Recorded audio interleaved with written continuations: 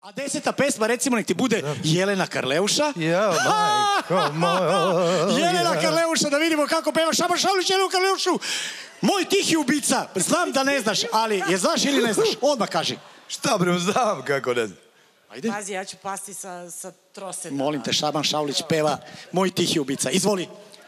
Čekaj, mogu li ja da imam Koreografiju? performans Možeš, neki? možeš. Dobro. Ajde. E, Ana, molim te, malo noge. E, tako. Pa ne mogu da verujem šta gledam. Moj tihi ubica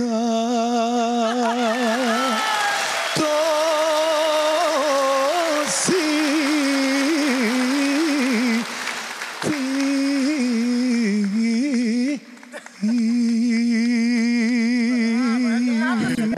Pa to je majstore, ovo ne mogu. Ljudi, pa ja ne mogu da verujem ovo šta se dešava. Ja mislim ono- da sam pogodio. A, deset, deset. Pri... Jelena, se priznaje ovo? Tako se peva tihi ubica. Bravo!